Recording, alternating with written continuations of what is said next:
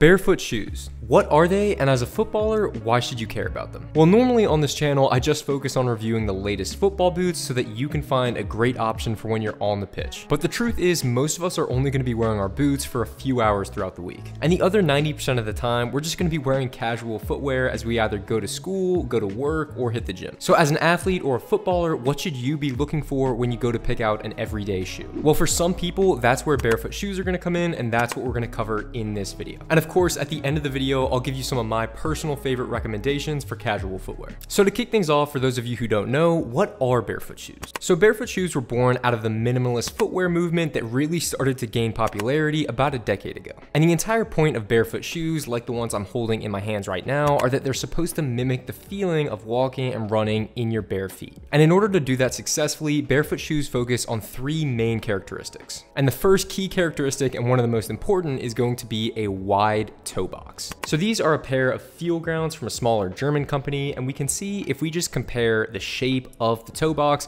with a conventional pair of Vans, you can see that they are much wider towards the front of that toe box. But not only are they actually wider, but they also just generally have a more natural and anatomical shape, as in they're not kind of torpedo shaped like the Vans are, where they basically have a similar angle at both the little toe and the big toe. They're actually a little bit longer towards where your big toe would be, and then they slowly taper out towards the sides. In other words, you're just gonna have a lot more volume for your toes to spread out at the end of a barefoot shoe compared to a conventional shoe. And the second key characteristic of a barefoot shoe is going to be a thin and minimal sole. In fact, the rubber sole on this shoe here is literally only a few millimeters, and because it's thin, it's also extremely flexible. When you compare these shoes side by side, you can see just how much thicker the soles are on the Vans, and not only that, they're also just gonna be a little bit bulkier and harder to bend. And the third and final characteristic of a barefoot shoe is that they are zero drop. And all that means is that the sole is gonna have the exact same height at the heel of the shoe all the way to the toe of the shoe. So there's not gonna be any heel elevation or toe spring, which you sometimes find in certain running shoes. So now we've gone over what barefoot shoes are, next let's talk about why they're becoming more popular among athletes. So off the pitch, I've been wearing barefoot shoes pretty consistently for about the last five years. And why I like them so much and why I think so many other people are growing to like them as well boils down to two main things. And those things are gonna be comfort and functionality. So let's start off by addressing the comfort factor. Now, almost anyone who's bought a pair of football boots or pretty much any other shoe for that matter knows that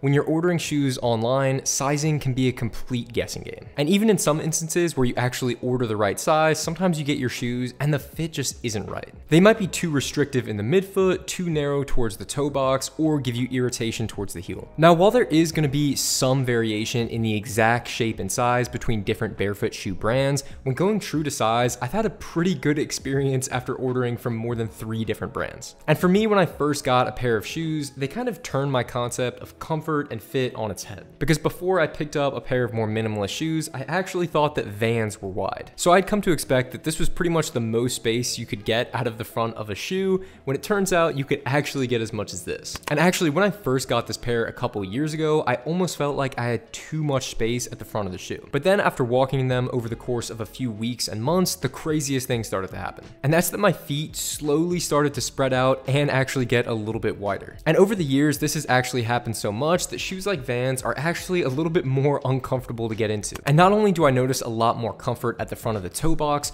but I'm also really appreciative of these more flexible soles because they just allow my foot to bend a lot more naturally towards the midfoot. And that's really important because as you're walking or running, you want your feet to be able to pronate naturally without expending a lot of energy trying to bend the sole of your shoe. And that pretty much takes us straight into functionality because the main reason I actually got barefoot shoes in the first place was to use them as a workout shoe. Because I used to wear running shoes to the gym and I started to get irritated just by how thick the sole was. I found that towards the heel area, there was just too much foam and padding, especially when I was doing resistance exercises like squatting, deadlifts, or lunges that required a lot of sensitivity. It got to the point in the gym where sometimes I would just take my shoes off when I was squatting and go in my socks just so that I could get that contact with the ground. But ultimately, I just wanted to find a shoe that I could feel comfortable doing all of those different movements in. And as far as a great workout shoe, I actually ended up going with this pair called Tolos. These are actually from a smaller American company, and I have been using these so heavily over about the past year and a half. They used to be clean white, and now they look kind of disgusting, but nevertheless a great shoe.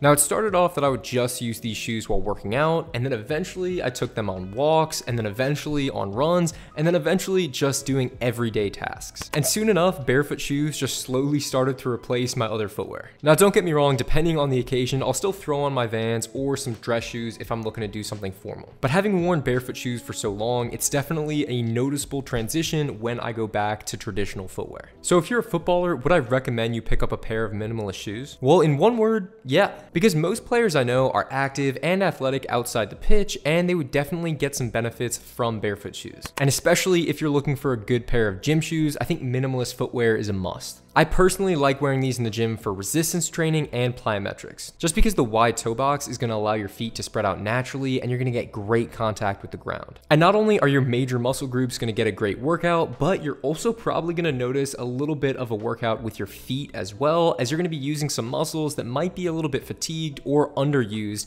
depending on the shoes you've been wearing in the past. And then outside the gym, I also really like wearing these kinds of shoes on walks or hikes. And to be honest, you can really just throw them on in most situations you'd typically be wearing a sneaker. And as footballers, we may be wearing some pretty aggressive shaped boots for one to two hours out of the day. And to be honest, this pair of F50s that I have here are actually pretty average width compared to most boots. But just look at the comparison you see between this minimalist shoe here and the F50. And I think that transitioning from a more aggressive shaped boot like this to a more natural barefoot shoe later in the day is just gonna allow your feet to spread out and relax. But if you are considering picking up a pair of barefoot shoes, there are some important things to consider. And the first major major thing to take note of is that it is going to be a slight adjustment moving to a pair of shoes like this. First up, when it comes to walking, concrete and asphalt are really hard surfaces. And if you're someone who really strikes hard with your heel when you walk, you're gonna feel it when you move to shoes like this. But the cool thing is your walking style will actually naturally adapt over time if you wear a pair of more minimalist shoes. You just wanna be sure to not do too much too fast, so just gradually wear them more and more over the course of a few days and weeks. Now, when it comes to running, you cannot heel strike in barefoot shoes. It's just gonna be really painful for your ankles, for your knees, for your hips, and it's just not gonna be a fun time. Instead, when you're wearing a pair of shoes with a sole this thin, you're gonna wanna either midfoot strike or toe strike when you're running. And I'm a footballer, not a runner, so I'll leave a video in the description that perfectly explains the difference between a toe strike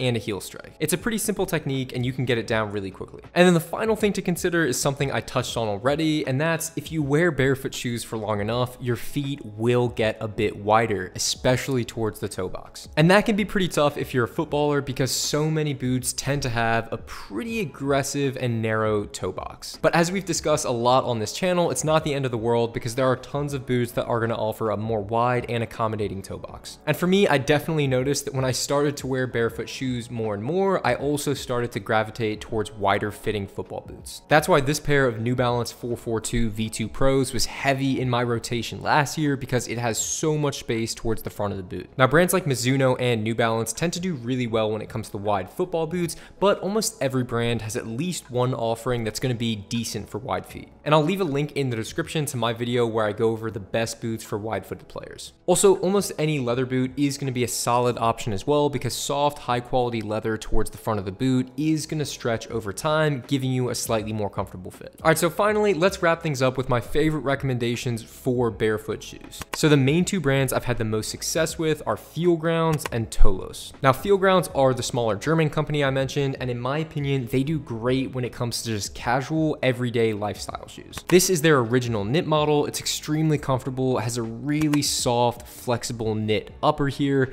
and a really thin sole. I mean, you can really easily just roll these all the way up top to bottom. I like these especially for the summer because that knit is so breathable, so they're not gonna get really sweaty. To me, I almost think of these as like a van equivalent, so I wear wear them in similar situations. And then Feelgrounds also has their original model in this luxe material that is almost like a faux leather. This one is a little bit easier to clean, which I like because it has this slick matte finish. And since it has that faux leather appearance, I also like to wear it in slightly more formal circumstances. And then Feelgrounds also just came out with a workout shoe that I have here. I literally just got it a few days ago, so I've hardly had the chance to use it, but I've been pretty impressed with it so far. The upper is still gonna have a really nice knit material, but I think the sole is about about one or two millimeters thicker than the other Feelground shoes just to give them a little bit durability for more athletic wear. And then the other shoe I have absolutely loved is my pair of the Tolos. Now I believe the model name for this is the Archetype and it is pretty much the only shoe that Tolos makes. And I actually kind of like the idea of a company only making one shoe because it makes for a really easy shopping experience. You don't really have to think about what model you should go for.